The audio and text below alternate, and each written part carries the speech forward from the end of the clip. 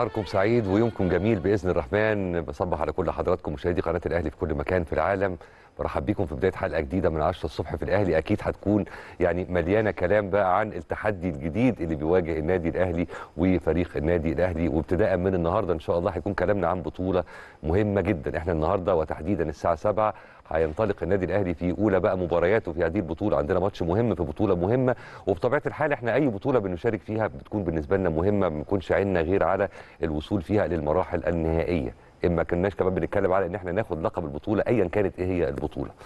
تعالوا بس نبتدي حلقتنا النهارده بعزاء واجب. الحقيقة كابتن محمود الخطيب وكافة أعضاء مجلس الإدارة وقطاعات النادي الإدارية والرياضية تقدموا بخالص العزاء للكابتن حسام البدري المدير الفني الأسبق للنادي الأهلي وعضو النادي في وفاة والدته داعين المولى عز وجل أن يتغمد الفقيده بواسع رحمته ويسكنها يسكنها فسيح جناته ويلهم العائلة الكريمة الصبر والسلوان طبعا خالص تعزينا لكابتن حسام البدري. حلقتنا النهارده هتكون مليانة كلام كتير عن النادي الأهلي. طبعا ده هيحصل على مدار جزئي الحلقة. الجزء الأول هنتكلم فيه أكيد عن ماتش النهارده وكمان هنعمل ده بحذافيره في الجزء الأخير من حلقتنا النهارده. كالعادة الساعة الثانية بيكون عندنا فيها فقرتين حواريتين. الفقرة الأولى النهارده هنتكلم من خلالها عن طبعا يعني الرياضات الأخرى. اللي طبعا بنحب دايما كل فترة والتانية نلقي عليها الضوء مع حضراتكم من خلال طبعا الأساتذة الأفاضل اللي بينورونا. وطبعا الفقرة الثانية هيكون فيها حديث مطول مع كابتن فتحي نصير. هنتكلم بقى معاه عن ماتش النهارده وعن اللي جاي لكن طبعا الفقرة اللي قبلها هينورنا الناقد الرياضي الأستاذ أحمد رشاد. إحنا كالعادة زي ما بنهتم دايما بإننا نتكلم عن كرة القدم ما بيقلش ابدا اهتمامنا بأي حال من الأحوال عن إننا نتكلم كمان في الرياضات الأخرى ولا سيما إن الحقيقة النادي الأهلي هو اللي يعني مخلي الفرصة دي متاحة لينا وبوفره لأن النادي الأهلي شبه مسيطر على أغلب الرياضات الأخرى ولا سيما رياضات الصالات. هنتكلم في الفقرة طبعا دي عن كل هذه الأمور. تعالوا بقى نتكلم عن النهارده هيحصل إيه. النهارده إن شاء الله افتتاح بطولة كأس السوبر المصري للأبطال اللي هيشارك فيها طبعا أربع أندية مصرية النادي الأهلي بطبيعة الحال بحكم إن هو بطل الدوري وكمان معاه نادي بيراميدز وصيف بطل الكاس ونادي سيراميكا كليوباترا اللي هنلعبهم النهارده إن شاء الله الساعة 7 مساء. وأخيرا نادي Modern Future. طبعا بطولة كأس السوبر للأبطال هي أول نسخة بالنظام المستحدث. وخلي بال حضراتكم في أكتر من دولة كمان بتعمل بطولة السوبر الخاص بيها وبنفس الطريقة طبعا أبرزهم على الإطلاق السوبر الإسباني اللي عادة ما بيطلعش بره الثلاثي الشهير ريال مدريد والبارسا وأتلتيكو مدريد. عشان كده فكرة يعني إقامة مسابقة السوبر المصري بمشاركة أكتر من فريق هو أمر جيد جدا وأعتقد أن البطولة إن شاء الله هتكون ناجحة جماهيريا وده واضح من حاجات كتير لكن نقدر نكون واثقين من هذا الأمر إن شاء الله. خلونا بقى ندخل أكتر في المشهد وأكيد عارفين أن الوقت يعني كان ضيق جدا كالعادة. يعني بس المرة دي بمجرد وصول البعثة خلال طبعا ال 48 ساعة الأخيرة من المملكة العربية السعودية بعد المنافسات القوية اللي خدوها في كأس العالم للأندية. على طول دخلنا في مود البطولة. امبارح مستر مارسيل كولر عمل تدريب للعيبة. المعنويات واضح إنها مرتفعة جدا خصوصا بعد الظهور بشكل جيد في منافسات كأس العالم للأندية والحصول على الميدالية البرونزية، لكن في النهاية أنت بتشارك في أكتر من بطولة. وبتطلع من منافسات محلية تدخل على منافسات قارية، تطلع من القارية على منافسات عالمية، ترجع من العالمية مرة ثانية على المنافسات المحلية، وده قدر النادي الأهلي ولاعيبة النادي الأهلي وواضح كمان إنه قدر جماهير النادي الأهلي. الحقيقة أمر صعب جدا مش أي فريق يقدر يستوعب هذا الأمر، مش مش أي فريق يقدر يتأقلم معاه خصوصا في مصر أو حتى في إفريقيا بشكل عام. عشان كده النهارده برضو هنقول إنه وارد جدا إننا نشوف تغيير إلى حد ما في تشكيل الفريق من جانب مستر مارسيل كولر وارد ان ده يحصل في ثلاث لعيبة أربع لعيبة وبرده وارد إنه يبتدي بنفس تشكيل المباراة الأخيرة اللي لعبها أمام أوراوا الياباني. وإن كان يعني في ناس كتير ممكن تبقى متشككة في هذا الأمر وممكن يكونوا شايفين إن المجموعة اللي شاركت يوم الجمعة اللي فاتت يعني ممكن مش بالضرورة إن كلهم يبتدوا في ماتش النهارده أمام سيراميكا كليوباترا. عموما هي ساعات يعني بسيطة بتفصلنا عن اللقاء وكده كده هنعرف مين التشكيل الأساسي. تعالوا بقى نتكلم شوية عن سيراميكا الفريق المنافس. إحنا طبعا بنتكلم على فريق جيد ماشي بشكل كويس في الموسم الحالي معاه مدرب مجتهد جدا كابتن أيمن الرمادي طبعا سجل معاهم حضور متميز جدا في نهاية الموسم اللي فات ونجح معاهم في إنه يفوز بكأس الرابطة على حساب فريق المصري بنتيجة 4-1 كمان الموسم الحالي لو لخصنا كده مشواره هنلاقي إن سيراميكا كليوباترا لعب تسع مباريات في فاز في أربعة منهم وتعادل في اثنين وخسر ثلاث مباريات. في الإجمالي عنده 14 نقطة وهو حاليا بيحتل المركز الخامس. عنده squad مميز بطبيعة الحال أكيد أبرز نجومه لاعب الأهلي المعار الجزائري أحمد قندوسي هداف الفريق في مسابقة الدوري مسجل معاهم خمس أهداف طبعا كمان نجم الفريق محمد شكري وأحمد ياسر ريان ومحمد إبراهيم وجون إيبوكا. يعني في النهاية أنت قدام فريق جيد جدا وعنده أكيد طموح مشروع جدا إن هو يعني يتأهل للمباراة النهائية بل ويفوز بهذه البطولة كمان في أول مشاركة ليه في هذه البطولة على الإطلاق. امبارح طبعا كان في كلام قاله أو صرح به كابتن أيمن الرمادي في المؤتمر الصحفي. كلام متوازن إلى حد كبير. بطبيعة الحال لازم هيكون بيشكر في فرقته بيأكد على جاهزية فرقته وعلى استعدادهم الكامل للملاقات فريق النادي الأهلي. وإن كان يعني في جملة كده البعض من الناس وقف عندها إن هو قال ضمن اللي قاله قال إن الفروقات بينهم وبين لعيبة النادي الأهلي متناهية الصغر. فجملة متناهية الصغر دي تخلي ناس كتير وقد نكون إحنا شخصيا منهم إحنا بنعمل ده هو بالفعل.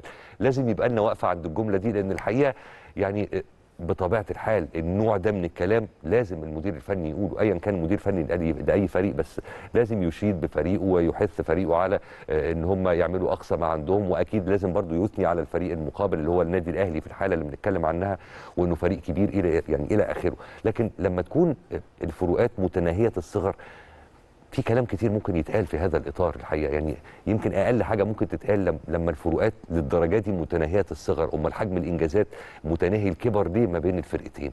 طبعا إلى جانب ردود تانية كتير لكن إحنا في الآخر بنتكلم على فريق محترم مديره الفني محترم. إحنا على فكرة بنتكلم كتير عن كابتن أيمن الرمادي هنا في 10 الصبح في الأهلي.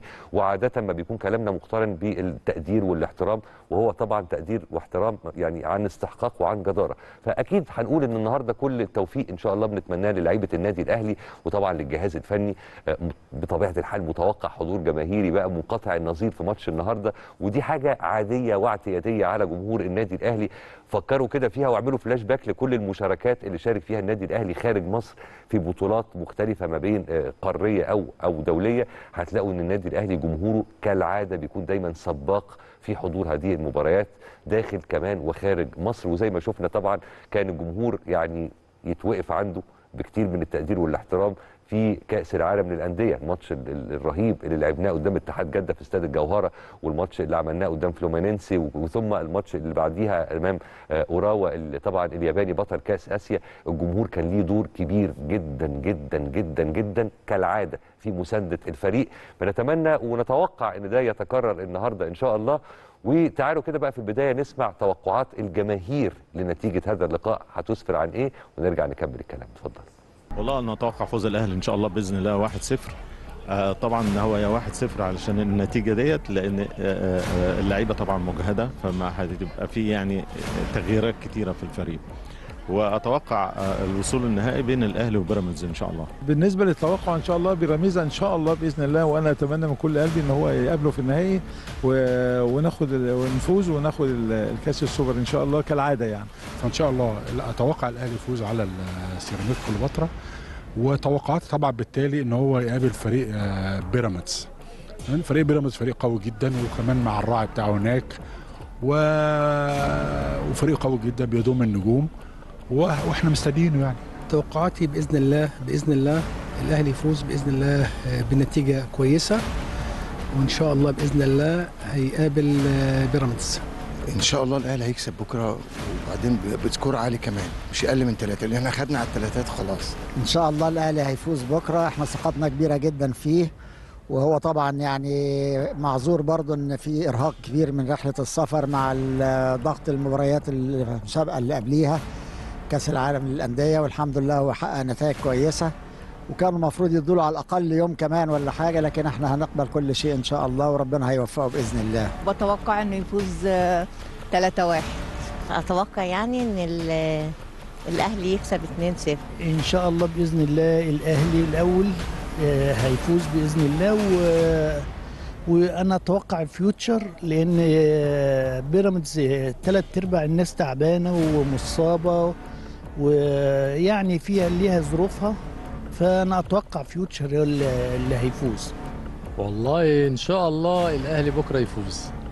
لأن برضو ال rhythm بتاعه وال level بتاعه طالع فوق ولسه جاي مباراه بس هي المشكلة في التعب بس بتاع اللعيبة. لكن إن شاء الله يقدر يفوز على سيراميكا كليوباترا وبنتيجة مثلا 1-0 أو 2-0 إن شاء الله. بإذن الله الفوز للأهلي إن شاء الله. من ثلاثة لأكثر إن شاء الله بإذن الله. ربنا يوفقكم جميعا. عمرنا ما سالنا أي حد من الجمهور عن توقعاتك في لقاء النادي الأهلي مع ايا كان مين؟ وتسمعوا عبارة من عينة مثلا إن شاء الله نتعادل. لا مفيش حاجة اسمها كده. دايما توقعات الجمهور جمهور النادي الأهلي وأنا هنا مش بتكلم على توقعاتهم لمباراة النهارده بالتحديد أنا بتكلم بشكل عام إن دايما جمهور النادي الأهلي متوقع من لعيبة النادي الأهلي أقصى حاجة ممكن يقدروا يحققوها واللي هي عشان يبقى الموضوع مرضي للجمهور هي الحصول على لقب البطولة اللي النادي الأهلي بيشارك فيها. طبعا إحنا عندنا لعيبة بسم الله ما شاء الله هم في غنى عن إن أنا أتكلم عنهم وحتى إن أنا أذكر إن هم عندهم ما يكفي من الخبرات على يعني ما يعينهم على حسن التعامل مع النوع ده من الضغوطات. لكن بعيدا بقى عن تلاحم المباريات والسفر والمجي والمشاركات في مباريات محلية وإقليمية وقارية ودولية بما فيها من ضغوطات هستيرية. لكن أنا عايز أقف شوية عند الضغط اللي بيشكله طموح الجمهور على اللعيبة. دي حاجة صعبة جدا مش أي لاعب يعني يقدر يتعامل معاها ويتأقلم مع هذا الأمر. الحقيقة يعني نهني دايما لعيبة النادي الأهلي على الثبات الانفعالي وعلى إن هم دايما عند حسن توقعات وحسن ظن الجمهور. ده في حد ذاته بيشكل عبء غير طبيعي ومسؤولية غير طبيعية. يعني اللي بيلبس تيشيرت النادي الأهلي ده ماشي وشايل على كتافه مجموعة ضخمة من الأحمال بأشكال مختلفة وبمرجعيات مختلفة لكن في النهاية الحمل واحد وهو حمل تقيل جدا. لكن كالعادة رجالة النادي الأهلي دايما قدها وقدود تعالوا بقى نستعرض تصريحات مستر كولر في المؤتمر الصحفي اللي عقد بالأمس. طبعا قال كلام كتير من ضمن الكلام اللي قاله قال إن طبعا مباراة سيراميكا كليوباترا لن تكون مباراة سهلة في ضوء الأداء والنتائج اللي قدمها الفريق في الفترة الأخيرة. طبعا شدد على إن النادي الأهلي بيسعى وده شيء طبيعي جدا بكل قوة للفوز بهذا اللقب. وأكد كمان على احتياجه لوجود الجماهير في المدرجات وفي ملعب المباراة النهارده وطبعا الجزئية دي مستر كولر ما تشيلش همها. يعني بالنسبة للجزء المتعلق بجمهور النادي الأهلي مش ما, ما, ما, تاخدش بالك. يعني ده موضوع مفروغ منه إن شاء الله. كمان قال إن هم ابتدوا التحضير بالفعل لمباراة سيراميكا بمجرد ما وصلوا من آه يعني وصلوا أبو ظبي بعد ما انتهوا من مونديال الأندية بين المملكة العربية السعودية. عرض طبعا فيديو تحليلي للفريق المنافس خلال محاضرته للعيبة وأكد إن المنافس فريق جيد جدا وبيمتلك عناصر مميزة للغاية. وفيما يتعلق بقى تفصيل بتفصيل تلاحم المباريات قال إن لعيبة النادي الأهلي عندها من الخبرة ما يكفي إنها تقدر تتعامل مع ضغوطات المباريات وكمان تطرق للحديث عن الحاجة اللي إحنا وقفنا عندها كتير الفترة الأخيرة الحقيقة فكرة إهدار الفرص. والواحد لما يعمل فلاش باك لمشاركات النادي الأهلي في الفترة الأخيرة ولا سيما في كأس العالم للأندية. أقسم بالله ربع الفرص اللي تم إهدارها دي لو ما كانتش أهدرت كان هيبقى النتيجة والوضع مختلف تماما. وتأكدوا إن إحنا كنا هنبقى بنلعب في الماتش النهائي قدام مانشستر سيتي. لكن هنرجع ونقول قدر الله وما شاء فعل. بس مستر كولر وقف عندها التفصيلة دي وقال إن هي طبعا بتحصل نتيجة غياب عنصر التوفيق في بعض الأحيان ونتيجة عدم التركيز في الأحيان الأخرى. طبعا طالب كل اللعيبة من هم يعني يثقوا بأنفسهم مع وجود شراسة أمام مرمى الفريق المنافس إلى جانب طبعا دور الجهاز الفني اللي سيعمل جاهدا على علاج هذا الأمر خلال التدريبات وإن شاء الله قال نصا إن القادم سيكون أفضل. طبعا التمس هو كمان بالمناسبة فيما يتعلق بعلاقة مستر كولر بالجمهور وهو اتكلم عن التفصيلة دي قبل كده كتير هو التمس العذر الكامل لجمهور النادي الأهلي في وجهة نظرهم المتعلقة بجزئية إهدار الفرص هو قال هو عندهم حق خصوصا إن هم مش بيشوفوا تدريبات الفريق ولا بيشوفوا الحالة اللي بعض اللعيبة بيكونوا عليها نتيجة تلاحم المباريات. و وقال كمان إن هم بطبيعة الحال بيتعرضوا نتيجة هذا الأمر لضغوطات كبيرة جدا قد تتسبب في تراجع المستوى لدى البعض من اللاعبين. طبعا في فروقات وفقا للخبرات وفرق الخبرات بين كل لاعب والتاني وهو ما يقدره تماما اللي هو انطباع الجمهور ويسعى إلى مساعدة جميع اللاعبين كما قال نصا كمان مستر كولر وجه رسالة خاصة جدا للجمهور جمهور النادي الأهلي قال فيها الآتي. تابعوا معنا. Fans. Wir sind hier noch im leeren Stadion und wir hoffen, dass ihr morgen mit dabei seid, dass ihr uns unterstützt, dass ihr, dass ich das spüre auch, wie in den Spielen zu Hause oder sonst irgendwo auswärts, wo ihr uns tatkräftig unterstützt. Und dementsprechend kommt ins Stadion, zeigt, dass ihr alle Fans seid und unterstützt euch. Wir haben noch keinen Titel geholt. mit euch wollen wir versuchen, das erste Spiel zu gewinnen, ins Finale zu kommen und diesen Pokal mit nach Hause zu nehmen. رسالة خاصة لجمهور النادي الأهلي. إحنا واقفين دلوقتي في الاستاد فاضي. الاستاد فاضي بيبقى ميت من غير جمهور النادي الأهلي ملوش روح ملوش حياة. إحنا محتاجينكم بكرة محتاجينكم تكونوا معانا داعمين لينا. أنا بحب جمهور النادي الأهلي جدا وعارف إن هم دايما في ظهرنا دايما مساندين لينا. محتاجكم بكرة جدا محتاجينكم في ماتش بكرة بشكل غير عادي. جمهور النادي الأهلي لازم تكون حاضر بكرة لازم تكون معانا بكرة عشان نوصل للنهائي إن شاء الله ونحقق اللقب مع بعض. جمهور الأهلي مستنيكم بكرة إن شاء الله. أهلا أما بقى فيما يتعلق بتصريحات محمد الشناوي كابتن الفريق اللي صرح بيها خلال المؤتمر الصحفي الذي أقيم بالأمس قال إن المباراة بطبيعة الحال هتكون مباراة صعبة وقال إن الفريق المنافس فريق قوي وسبق وواجه النادي الأهلي من فترة وجيزة هذا الموسم في الدوري المحلي وأكد على إن النادي الأهلي أغلق تماما صفحة كأس العالم للأندية بعد ما توج بالميدالية البرونزية وقال إن كل اللعيبة حاليا ما بيفكروش غير في بطولة السوبر المصري ومركزين تحديدا في مباراة النهارده أمام سيراميكا كليوباترا وقال نحن تعودنا على تلاحم وتوالي البطولات وابتدأنا بالتحضير طبعا مع محلل الأداء لدراسة الفريق المنافس وكيفية تحركات لاعبيه في أرضية الملعب وقال كمان أن النادي الأهلي بطبيعة الحال بيسعى لحصد لقب السوبر. تعالوا برضو نسمع جانب من تصريحات مستر كولر والشناوي خلال المؤتمر الصحفي من خلال هذا التقرير. اتفضل. Freuen wir uns, wenn das Stadion voll sein wird und äh, ja, unsere Fans uns anfeuern, damit wir so richtig Energie haben. كلمة تحضير كلمة كبيرة شوية اللي إحنا بنشوفه بقالنا يومين إحنا لعبنا ماتش قوي جدا يوم الجمعة يوم السبت اتمرنا في جدة إحنا لسه جايين امبارح بالليل متأخر اتمرنا تمرينة واحدة في جدة تمرينة الناس اللي ما شاركتش في الماتش بتاع يوم الجمعة واللعيبة اللي شاركت كانت في فندق في الجيم بتعمل استشفاء اتمرنت مع مجموعة صغيرة يوم السبت بعد كده سافرنا لسه جايين امبارح بالليل. النهارده اللعيبة اللي شاركت في الماتش هتلعب تنزل معانا التمرين النهارده لكن التمرين ما يقدرش إن هو يبقى تمرين آه، شديد أو قوي لأن آه، إحنا لسه في مرحلة الاستشفاء وإعادة آه، البناء البدني عشان نقدر إن إحنا نلعب ماتش بكرة مرة تانية. ففكره الاستعداد أو التحضير دي يعني هتبقى فيها صعوبة كبيرة جدا في ظل هذه الظروف. آه، لكن إحنا بدأنا بالشكل النظري اتفرجنا على آه، فيديو آه، في عن تحليل لماتش لفريق آه، سيراميكا. وأنا قلت اللعيبة بشكل واضح واللعيبة متهيألي مدركة ده جدا فريق سيراميكا فريق قوي جدا فريق محترم جدا بيلعب كرة كويسة. هيحتاج مننا مجهود كبير جدا عشان نقدر إن إحنا آه، نجاريه بكرة. هنقدر محتاجين تركيزنا يكون 100% محتاجين إن إحنا نكون ذهنيا وبدنيا في أعلى مستويات عشان نقدر نتخطى فريق بالقوة دي. وده اللعيبة عارفاه وإحنا عارفينه وبنحاول إن إحنا نتكلم فيه طول الوقت. من أول ما وصلنا هنا. بنتمنى بكرة ودي نقطة نقطة قوة لينا محتاجينها بكرة جدا هي الجمهور.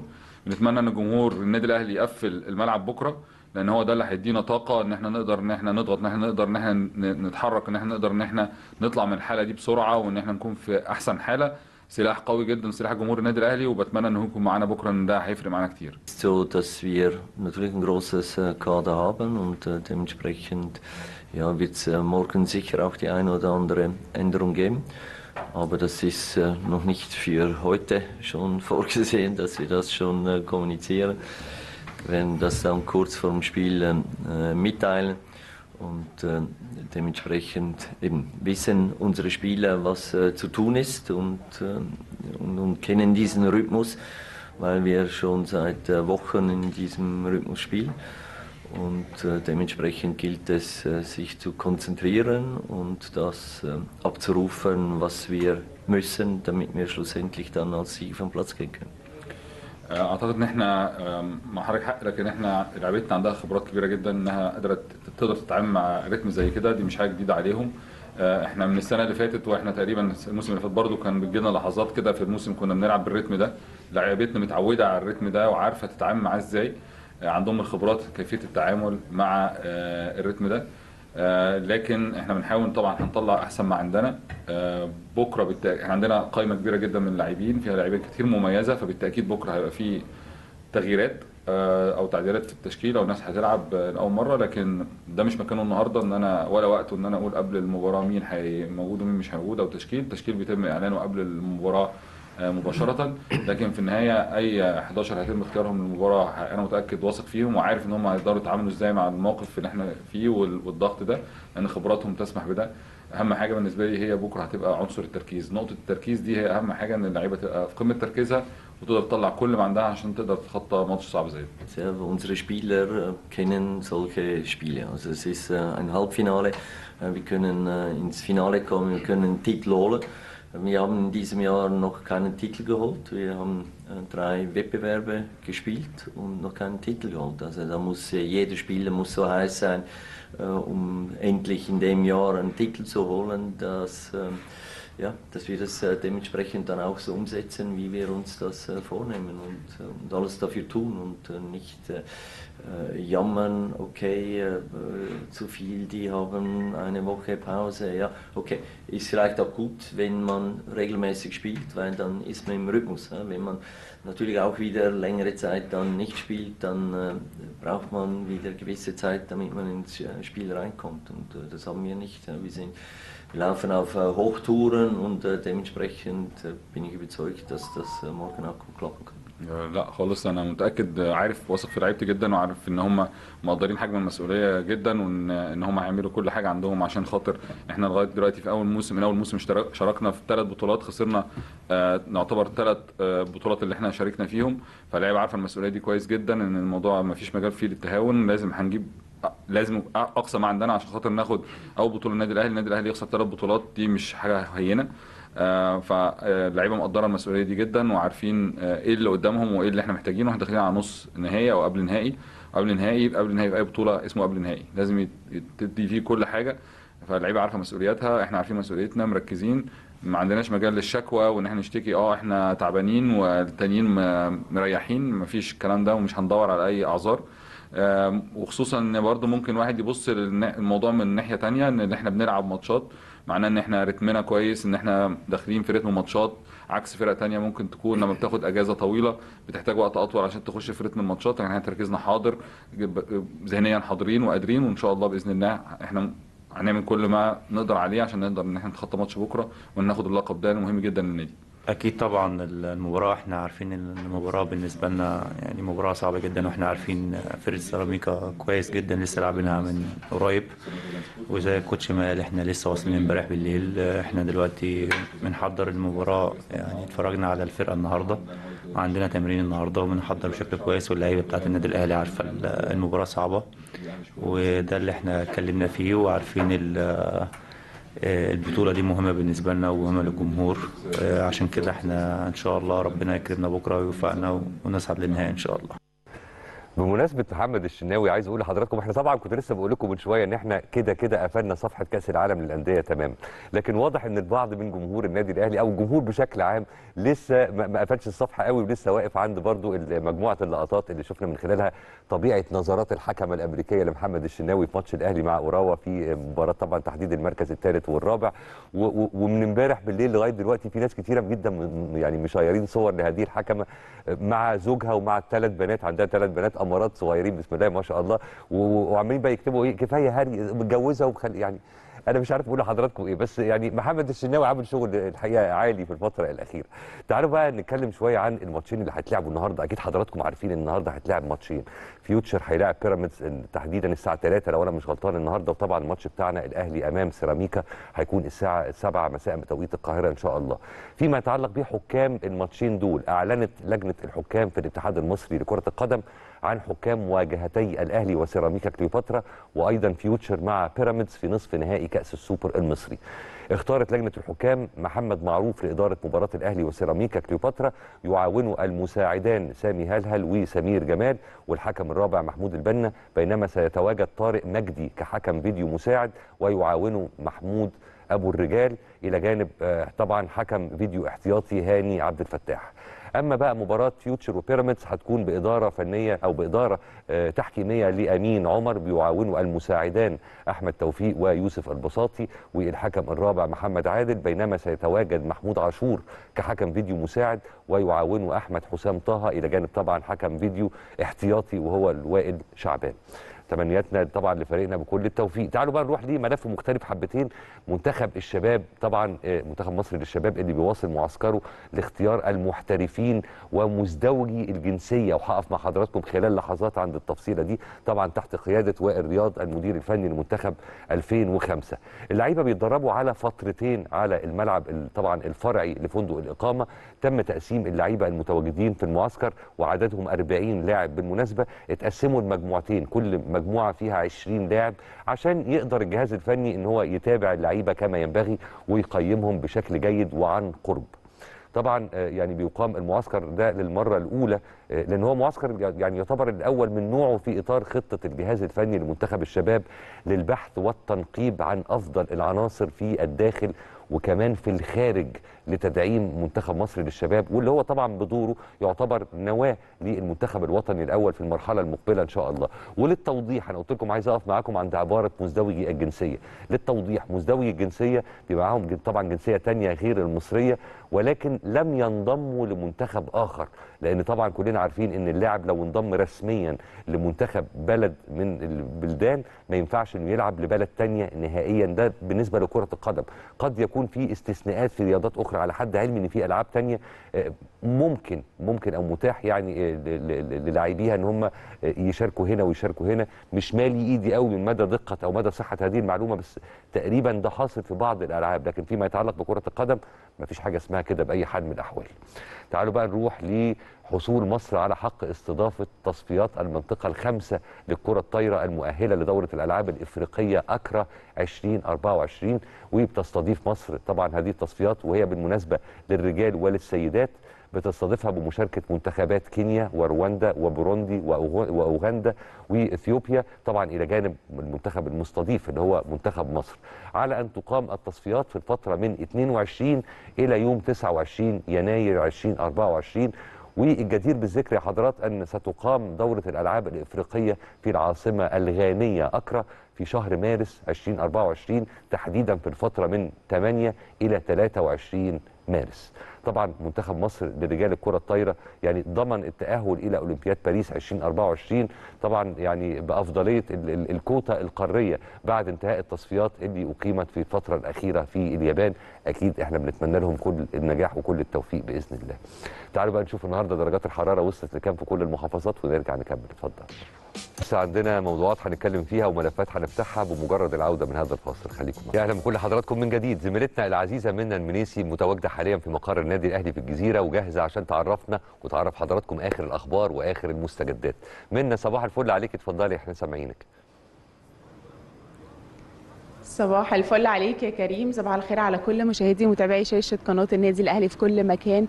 يوم جديد من 10 الصبح في الأهلي. أكيد أخبار رياضية أهلاوية كمان جديدة. كريم خليني أقول لك إن الكل لسه بيعيش فرحة البرونزية وبرونزيه المونديال ولكن ده قدر النادي الأهلي الخروج من بطولة الدخول في بطولة بعدها. والنهاردة تحديدا الساعة 7 مساء مباراة النادي الأهلي مع سيراميكا كليوباترا في كأس السوبر الساعة المباراه هتقام على استاد محمد بن زايد في أبو ظبي بالإمارات الساعة 7 مساء. وبالفعل في تجهيزات في النادي شاشات العرض الضخمة آه، بالفعل خلاص جاهزة من قبل الإدارة التنفيذية وإدارة الخدمات عدد كبير من الكراسي. طبعا الكل بيحب إن هو يجي يعيش أجواء هنا خاصة لو يوم أجازة لكن كمان أيام اللي بتبقى في نص الأسبوع بيكون في عدد كبير من متابعي ومشجعي النادي الأهلي وكمان جمهور النادي الأهلي والأعضاء إن هم بيحبوا يتفرجوا هنا على الماتشات مع بعض ويشجعوا فريقهم فريق النادي الأهلي. بنتمنى له أكيد كل التوفيق. امبارح كان اختتم الجهاز الفني للفريق والنادي الأهلي آه، تدريباته استعدادا لمباراة اليوم. ابتدى التمرين بمحاضرة آه، نظرية عن كل الأمور الفنية والتكتيكية اللي هت... النهارده أو الخططية اللي هتكون موجودة النهارده في المباراة. وكمان كان في جانب بدني كبير آه، يعني يركز عليه مستر مارسيل كولر مع اللاعبين امبارح خاصة إنه الفترة اللي فاتت هنتكلم على حمل بدني كبير. أنت بتتكلم في تقريبا ال- الفترة ما بين 15 12 حتى يوم الخميس اللي جاي. آخر مباراة هتبقى 28 إن شاء الله. بتتكلم على تقريبا 13 يوم لعب فيهم النادي الأهلي آه، خمس مباريات كبيرة يعني تقريبا بمعدل كل يومين ونص مباراة. فده حمل بدني كبير على اللعيبة. لكن الكل بيطالب الجهاز الفني الكل بيطالب اللعيبة إن هم يركزوا في مباراة اليوم. عشان كمان تبقى من نصيب النادي الأهلي كاس السوبر يبقى كأس سوبر جديد بيضاف لبطولات النادي الأهلي. يعني يمكن الأهلي بيشارك ال- ال- ال- النسخة دي من بطولة كأس السوبر بشكلها الجديد. الأهلي بصفته بطل الدوري. سيراميكا كليوباترا بصفته آه، بطل كأس الرابطة بيراميدز وصيف الدوري وفيوتشر في المركز الثالث. مباراة النهاردة هيسبقها أو قبلها هتكون مباراة فيوتشر وبيراميدز ويوم الخميس اللي جاي إن شاء الله هيكون النهائي بين أول وتاني آه، أو بين الاثنين اللي هيكسبوا مباراتين النهاردة والاثنين الخاسرين هيسبقهم مباراتهم بإذن الله برضو يوم الخميس. يعني يمكن كلنا شفنا امبارح قد إيه مستر مارسيل كولر حس بقيمة وقدر جمهور النادي الأهلي ووجودهم في الملعب لما قال إن هو بيستنى كل جمهور النادي الأهلي إن هو يبقى موجود في الملعب كله يشجع هو أكيد حس قد إيه وجود الجمهور بجانب الفريق بيسعد. بيساعد ال- الفريق بشكل كبير جدا إن هو يعمل كل اللي عليه ويبذل قصارى جهده إن هو إن شاء الله يقدر يفوز بالبطولة فبنتمنى لهم أكيد كل التوفيق من مباراتهم النهارده وفي النهائي إن شاء الله يوم الخميس استكمالا لأخبارنا النهارده ورجال كرة السلة في فترة توقف دلوقتي لمدة شهر يا كريم ولكن مستمرين بشكل طبيعي في تدريباتهم لكن ما فيش ماتشات لمدة الشهر اللي جاي. ده بسبب مشاركة منتخبنا الوطني في البطولة العربية اللي هتبتدي إن شاء الله آه، بكرة على آه، استاد القاهرة. حتى آه، 3 يناير م- آه، إحنا في أو مصر منتخبنا الوطني في المجموعة الثانية مع الإمارات والكويت وتونس والمغرب. بكرة هيكون افتتاح البطولة أو يعني يوم افتتاح البطولة وهيلعب النادي الأهلي مع الإمارات. الأهلي بيشارك منه آه، منتخبنا الوطني آه، آه، يعني واخد من النادي الأهلي خمس تقريبا لعيبة إيهاب أمين عمرو الجندي عمر طارق كريم حاتم وعمرو زهران. نتمنى لهم أكيد كل التوفيق في البطولة العربية. أما سلة سيدات الأهلي بكرة هتكون أول مواجهة ليهم في الدور التمهيدي من بطولة أو من دوري السوبر اللي بيقام بنظام best of 3 خليني كريم أشرح لك best of 3 هو نظام دوري السوبر السنة دي. ال best of 3 يعني نلعب ثلاث ماتشات مع نفس الفريق. لازم نفوز بماتشين من أصل ثلاث مباريات عشان نتأهل للدور اللي بعده. النادي الأهلي هيواجه بكرة نادي الطيران. أول ماتش هيبقى هنا على صالة الشهداء بالمقر الرئيسي للنادي الأهلي بالجزيرة. تاني مباراة هتبقى على صالة الطيران. والثالث يعني لازم ثلاث ماتشات يكسب منهم النادي الأهلي مباراتين بإذن الله. بنتمنى لهم كل التوفيق. أما رجال كرة الطايرة فاختتم الدور التمهيدي. من بطولة الدوري بالعلامة الكاملة. عايزة أقول لك إنه 10 ماتشات قدر النادي الأهلي إنه يفوز بال10 ماتشات 10 ماتشات متتالية. فاز بيهم النادي الأهلي آخر آه، فوز أو الفوز العاشر كان بنتيجة 3-0 على نادي دلفي في ختام المرحلة الأولى ولسه لم يتم تحديد المرحلة الثانية بعد. أما سيدات اليد كمان متألقات حقيقة يعني برضو 10 ماتشات متتالية قدروا إن هم يفوزوا ب 10 ماتشات دون آه، أي خسارة. آه، آخر نتيجة ليهم أو آخر فوز ليهم كان أمام نادي سبورتنج بنتيجة 25 21 وقبلها نادي أو فوز على نادي سموحة بنتيجة 31 22 ضمن عاشر جولات. زي ما بقول لك يا كريم قدروا إن هم يفوزوا بالثلاث أو بالعشر آه، مباريات متتالية. فمتربعين طبعا على صداره الترتيب. المواجهة المقبلة هتكون يوم الجمعة إن شاء الله أمام نادي الطيران. أما الحقيقة شباب وشابات أو ناشئين وناشئات النادي الأهلي عاملين الحقيقة الكام يوم اللي فاتوا دول يعني ماتشات فوق الممتاز. خليني أقول لك إنه امبارح انسات سلة الأهلي 16 سنة توجوا ببطولة منطقة القاهرة على حساب نادي الجزيرة بنتيجة 57 54 وعملوا الحقيقة ماتش أكثر من رائع. كمان شباب طايرة الأهلي 19 سنة حققوا الفوز على نادي سبورتنج بنتيجة 3-0 في بطولة الجمهورية. كمان في بطولة الجمهورية طايرة الأهلي ناشئات 19 سنة فازوا على النادي الاتحاد السكندري بنتيجة 3-0 أيضا. وبرده في بطولة الجمهورية ناشئات طايرة الأهلي 17 سنة حققوا الفوز على نادي المقاولين العرب بنتيجة 3-0 ضمن منافسات بطولة الجمهورية. ومن أخبار نادي الأهلي النهاردة معانا ومن أخبار النادي هو راعي رسمي جديد لمدة ثلاث سنوات بروميتيون للإطارات إيجيبت تعلن شركة الأهلي لكرة القدم عن شراكة استثمارية جديدة مع بروميتيون للإطارات إيجيبت الشركة العالمية الوحيدة لتصنيع إطارات النقل الثقيل والأتوبيسات في مصر. لتصبح الراعي الرسمي للنادي الأهلي مدة ثلاث سنوات جاية أو ثلاث سنوات قادمة خلال تلك الشراكة المثمرة. أكيد بيحاول من خلالها بروميتيون إيجيبت إن هو يطور أو يشجع و, يشجع النادي الأهلي ولكل شباب والرياضه أكيد يعني يا كريم دي كانت كل أخبارنا النهارده من الداخل الفرع الرئيسي للنادي الأهلي بالجزيرة وأنا معاك. لو في أي استفسار تاني اتفضل. مفيش أي حاجة غير كل الشكر ليكي كالعادة أنتوا مش بتسيبوا لنا أي فرصة نسأل أو نطرح المزيد من الأسئلة. تغطية كافية ووافية. بشكرك عليها كل الشكر زميلتنا العزيزة من المنيسي. تعالوا بقى نقف شوية عند اللي مشرفنا واللي مفرحنا واللي رافع رايتنا في كل المحافل الدولية. طبعا بكلمكم عن النجم المصري محمد صلاح نجم ليفربول الإنجليزي اللي انفرد مؤخرا بالمركز العاشر في قائمة أفضل هدافي الدوري الإنجليزي الممتاز. عبر تاريخ الدوري الإنجليزي الممتاز. طبعا ده حصل بعد ما سجل هدف رائع أمام أرسنال في قمة الجولة ال 18 لمنافسات مباريات الدوري الإنجليزي الممتاز. بكده بيكون محمد صلاح رفع رصيده ل 151 هدف في مشواره في الدوري الإنجليزي لينفرد بالمركز العاشر في قائمة الهدافين التاريخيين. وتخطى بذلك النجم السابق مايكل أوين اللي كان مسجل 150 هدف في هذه المسابقة. محمد صلاح الحقيقة بيستمر في كل يوم والتاني إن هو يحطم المزيد من الأرقام القياسية وتحقيق أرقام باسمه ويا له من فخر. إحنا هنا لما بنتكلم على محمد صلاح مش بنتكلم عن شخص عادي إحنا بنتكلم عن نجم استثنائي. يكفي إن إحنا نقول إن محمد صلاح حقيقي بيشكل مصدر إلى جانب إن هو مصدر سعادة وفخر دائمين. لكن هو كمان مصدر إلهام لناس كتير. اللي يتابع قصة محمد صلاح اللي يتفرج على صور محمد صلاح في مراحل عمره المختلفة من أول ما ابتدى لغاية لما انتهى بيه الحال لما انتهى إليه الحال في الفترة الأخيرة لا قصة نجاح مدوية. والنوع ده من النجاحات ما بيجيش بالصدفة. ومش بمجرد دعاء الوالدين وإن كان دعاء الوالدين أكيد ليه مفعول السحر في هذا الإطار. لكن وراه شغل وراه اجتهاد وراه إصرار وراه عزيمة وراه قدرة على تخطي كل العقبات ايا كان شكلها وايا كان حجمها. ناس كتير قوي لما اتفتحت سيرة احتمالية إن محمد صلاح والكلام ده كان من فترة طويلة طبعا ينتقل إلى الدوري السعودي. عايز أقول لكم زي ما في ناس كانت شايفة إن آه والله حلو وفي أرقام وفي فلوس وفي حاجات زي كده الكم الأكبر من الناس على الأقل اللي أنا أعرفهم الناس اللي اتفتح معاهم الحوار ده ما بيني وما بينهم في أوقات سابقة كلهم تقريبا بدون استثناء كانوا متخوفين لا يوافق. هم شايفين إن محمد صلاح في مكانه ده هو في الوضع الأمثل على الإطلاق على الإطلاق ولازم ولا بد وأن يستمر في تحطيم الأرقام القياسية والحقيقة محمد صلاح ما كدبش ظنهم ابدا وما خيبش يعني املهم واستمر في تحطيم الأرقام القياسية وبنتمنى له تحطيم المزيد والمزيد لأن مع كل رقم قياسي بيتحطم اسمه بيتكتب وبيتدعم وبيترسخ أكتر بحروف من نور وفخر العرب دي مش عبارة فيها أي مبالغة في أي حال من الأحوال لما بنتكلم أو لما بنوصف بيها محمد صلاح.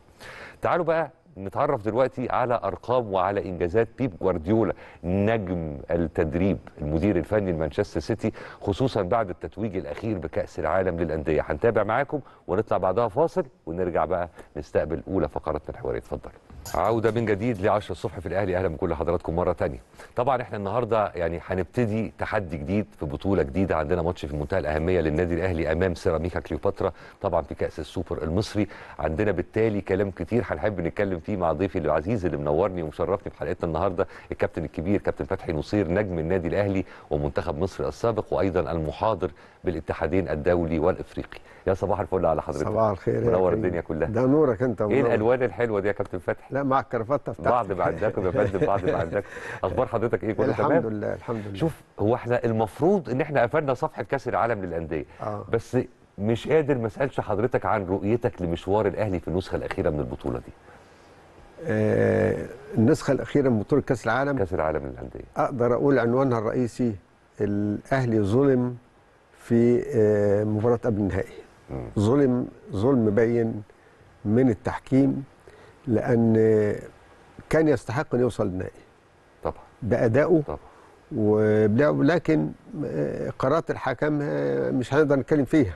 ما يحسب لك ضربة جزاء عليك وما يحسبلكش ضربة جزاء.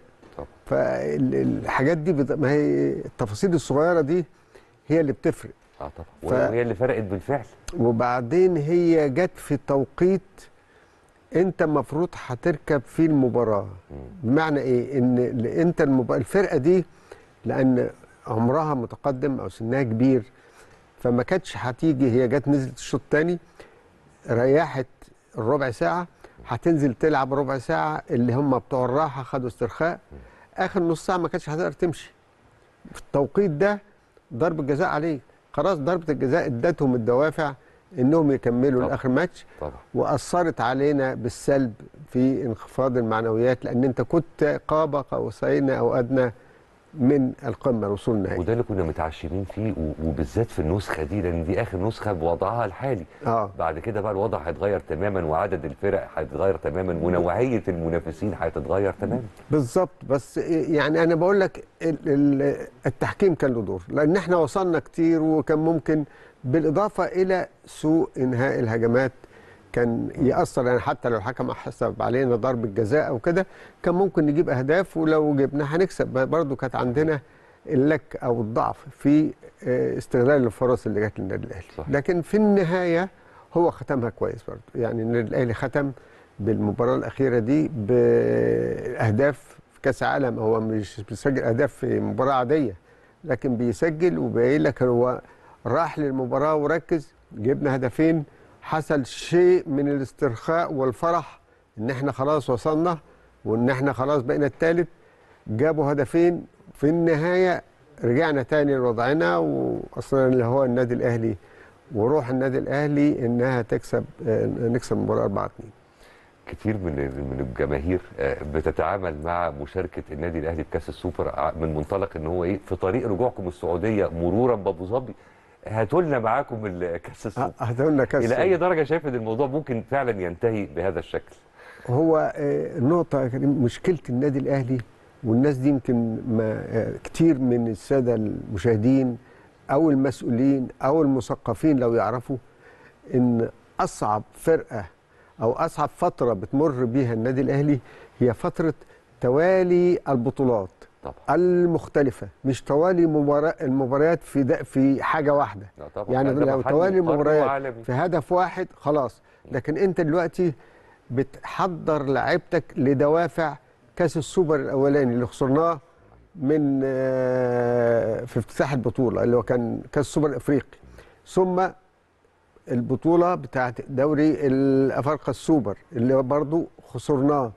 دي عايزة دوافع يعني المدرب بيحضر لدوافع السوبر ثم يحضر لبطولة تانية ثم يحضر مش بدني ولا فني ولا مهاري. كل ده عادي. ما هتقول لك ما اللعيبة هم هم وبيجروا هم. لا في حاجة اسمها الجهاز العصبي اللي بيحرك عضلات اللعيبة واللي بيحرك تحركاتهم واللي بيديهم التركيز ينفذوا واجبات المدرب اللي بيقوله لهم. فأنت بت- بتخلط الجهاز العصبي ده برضو ده يعني إحنا بشر. ده الكمبيوتر نفسه ساعات بيهنج. فمخك أكيد أكيد بيهنج لأن دوافعك مختلفة. كل بطولة لها دوافع.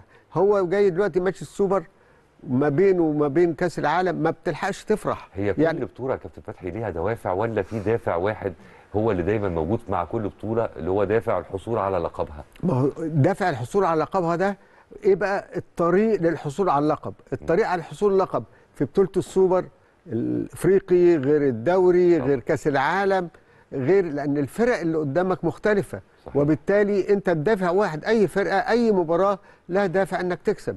بس الطريقة إنك تكسب بيها الفرقة دي غير الفرقة دي غير الفرقة دي والجو ده غير الجو ده غير الجو ده.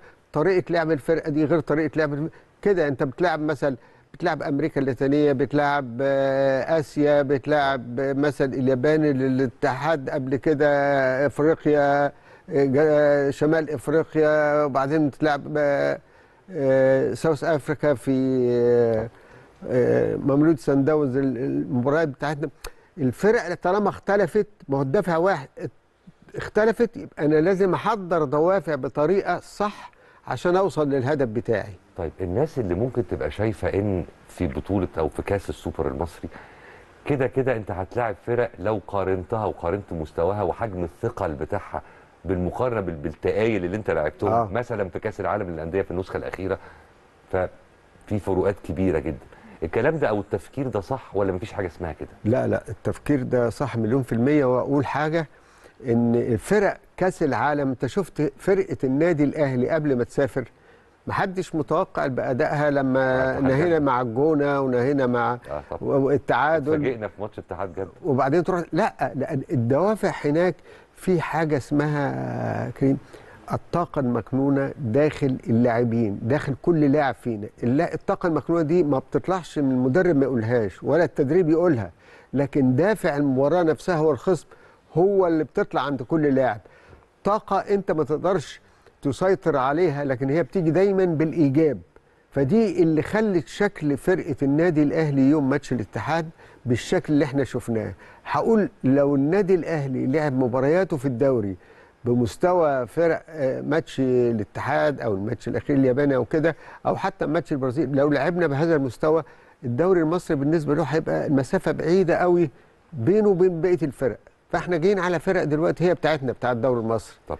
أخاف بقى إن الفرق بدل إحنا ما نشدها لفوق هم يشدونا لتحت. مش ده مش ده حصل قبل كده كذا مرة؟ يبقى الأهلي وتحديدا بعد العودة من مشاركاته المونديالية بتلاقي مولعين الدنيا في ماتشات قدام فرق كبيرة جدا وعالمية جدا. آه. ونيجي بعد منها على طول مع فرق محلية من بتاعتنا آه. اللي هي المفروض إن هي على قد الإيد. آه. وتلاقي الوضع مختلف تماما. لأن هم هيلعبوا هم دلوقتي هي الطاقة المكنونة دي اللي طلعت هناك مش هتقدر تطلع هنا لأن هو هيلاعب لاعب حاسس إن هو قده أو يمكن أحسن منه شوية. آه بس عنده نفس الحافز بتاع إنه عايز يحصل على لقب البطولة. ما هو اللقب ما هو ده اتفقنا عليه واحد. الفرقة اللي قدامك بقى طريقة لعبها الطاقة المكنونة هتطلع لها لكن مش هتطلع لك أنت. هيبقى كلهم بيتنططوا قدامك كلهم عاوزين ثالث كأس العالم عاوزين بطل إفريقيا. ف- فدي دوافع عندهم عالية جدا جدا. كل فرقة هتلعب قصادك كده. كل فرقة هتلعب قدامك متكتلة دفاعيا عشان ما يخشش فيها أهداف عشان تطول عمر المباراة. في المقابل بقى إحنا دورنا إيه في الحالة دي؟ دورنا- ده؟ هو ده دورنا إعداد المدرب للفرقة قبل المباراة. زي ما هو عد فرقتنا قبل ماتش الاتحاد. إعداد مثالي إعداد مثالي. طبعا. إن خلت شكل الفرقة واللاعبين لأن الإعداد النفسي مهم جدا. طبعا. هنا برضو عاوزه إعداد نفسي وعايزة تغيير بعض اللعيبة اللي لعبوا في كأس العالم عشان يبقى اللي ما لعبش ده عنده دوافع تانية غير دافع المباراة يثبت نفسه وذاته إن أنا ما لعبتش في كأس العالم كنت أنا أحق فهتديله دافع إن هو يأدي. يعني كل لاعب هينزل جديد لمصلحته مصلحة النادي الأهلي ومصلحته هو كمان فهيرتفع رتم المباراة معاه المباراة آه، كل الفرق اللي هتلاعب النادي الأهلي في السوبر هتلعبه بقوة وهتلعبه بنديه وهتلعبه بحماس وهيبقوا فرحانين. أنا هلعب ضد الراجل مثلا اللي اللي وقف بنزينة. أنا هلعب ضد الراجل اللي جاب صد جول في من بنزين. يعني دوافع تانية كتير بتاعت الفرق دي. إحنا مفروض الإعداد النفسي لنا. ونجهز لنا نفسنا. ويفصل بين دلوقتي وكأس العالم والثلاث بطولات. إحنا لعبنا ثلاث بطولات السنة دي. طبعا. فالثلاث بطولات لم لم نوفق فيهم. يعني وفقنا يعني إيه؟ للأسباب اللي أنا قلتها. إن لكن آه إنك تطلع ثالث طبعا حاجة كويسة. يعني ثالث كأس العالم. كل قارات العالم. طبعا. كل أندية العالم. كل الأندية اللي بتلعب على مستوى العالم. أنت دلوقتي طلعت الثالث بتاعهم. يبقى أنت في منزلة كبيرة قوي. مفروض إن أنا هنا أعدهم الإعداد النفسي اللي يقدر يتعامل مع اللاعب المصري اللي بيتكلم كلامه واللي بيشتغل بلغته وبيأدي أداؤه وحافظ لعبتنا وعايش عيشتنا. لكن إحنا قادرين إن شاء الله بإذن الله نكتسب من هذه البطولة. ال- ال- الدافع يستمر معانا. الخبرة تست... الخبرة موجودة لكن طبعا. تستمر معانا وما نبصش إن أنا بلعب مع السيراميكا السيراميكا بتاعت مصر. أنا بلعب مع 11 فريق لأن أنا عايز بطولة. البطولة دي ما تفرقش مين إن أنا بلعب ضده. وزي ما بقول تاني تغيير اللاعبين جدا مهم مهم مهم لأنهم هينزلوا مش مشبعين لا عندهم دوافع تانية لذاتهم إن هم ما لعبوش في في كأس العالم. وبالتالي عاوزين يثبتوا لذاتهم ولمدربينهم ولجمهورهم ولادارتهم إن إحنا كنا أحق بإن إحنا نلعب فبالتالي هيبقى دافعهم أكتر. طيب آه، في أصوات بتتعالى كل فترة والتانية بتطالب النادي الأهلي بجلب مهاجم صريح. وفي المقابل في وجهة نظر تانية بتقول لك إن أنت عندك أسماء لعيبة في النادي الأهلي حتى وإن كانوا في مراكز مختلفة لكن كل واحد منهم على حدة يستطيع أن يكون قائما بأعمال المهاجم لحين جلب مهاجم. تمام؟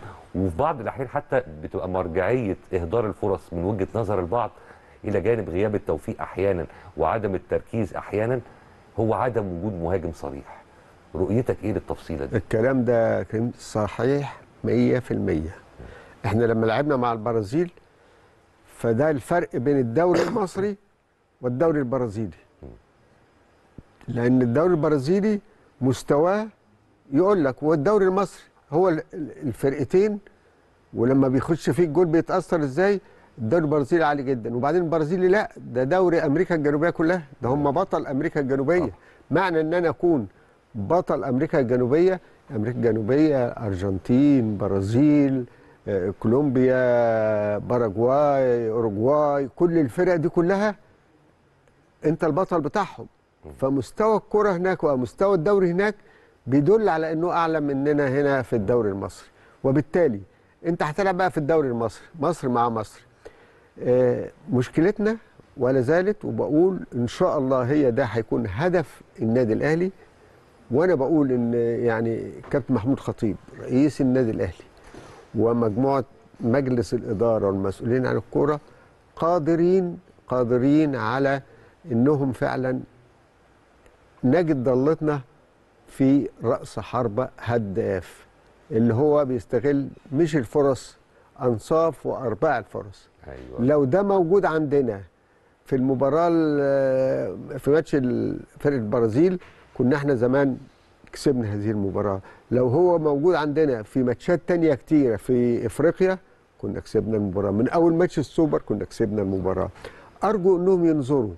حتى لو ال- الهداف غالي ولاعيب غالي قوي لأن هو لعيب الكورة كل واحد له مواصفات وكل واحد له تخصصات الهداف هتلاقيه غالي ليه لأنه عملة نادرة اللي هو عنده إيه قمة في التركيز على ذكر قمة في. ب- آه. بغض النظر إذا كانت نادرة ولا لأ بس آه. عنصر العملة ده ما برضه ممكن يبقى عامل مشكلة لل- للإدارة في الف... وأنا هنا مش بتكلم على النادي الأهلي أنا بتكلم آه. على أي فريق الود وده ان هو يجيب مثلا آه، بغض النظر مهاجم ولا غير مهاجم بس لاعب آه، على مستوى عالي جدا آه. هيدفع فيه أرقام بالعملة الصعبة آه. ما ممكن تبقى العملة الصعبة دي في حد ذاتها مش متوفرة في النادي أو بيتم توجيهها لرياضات أخرى داخل النادي آه. يعني ال- الموضوع مكعبل شوية عن. ما الناس متخيلة دلوقتي اتحلت الموضوع ده هتقول لي إزاي اتحلت يعني اتحلت إيه العملة بطولات كرة القدم دلوقتي وبطولات النادي الأهلي اللي. هيشارك فيها جوائزها عليت قوي. يعني انت كأس العالم هتشارك في 25 اللي يقال إن 50 مليون يورو للفريق اللي هيشارك. بس مش اللي هياخد بطولة. يا. اللي يقال اللي هياخدها هياخد إيه أنا بقول لك اللي يقال لأن فيها عليها هتقعد شهر البطولة دي. أوكي. وهتقعد فترة طويلة والنادي الأهلي ونادي الوداد آه، هيشاركوا لسه في فرقتين تاني. بس الأهلي خلاص أوكي مشارك لأنه حصل على كل البطولات. إحنا لو إحنا فكرنا بطريقة تانية بقى ماتش السوبر الأولاني خسرناه فما خدش مكافأة البطل. ماتش بطوله الأندية ال- ال- ال- التانية اللي هو الدوري السوبر برضو ما كملناش فيه. طيب ده كله زائد ماتش كاس العالم هنا لو إحنا الماتش ده كنا قدرنا نجيب فيه اجوال وكده وطلعنا المركز تاني مش هقول رابع آه مش هقول التالت أو اول أو كده لو طلعنا على التاني. المكافآت دي كلها كنت أنا جبت بيها لاعب وهيزيد وهيبقى ببلاش معايا دلوقتي. يعني آه طبعا لأن أنا داخل ما بصش بمنظار ضعيف إن أنا بلعب في الدوري المصري. الدوري المصري ممكن أكمل بالمصريين. ممكن أكمل بأي حد. أيوة.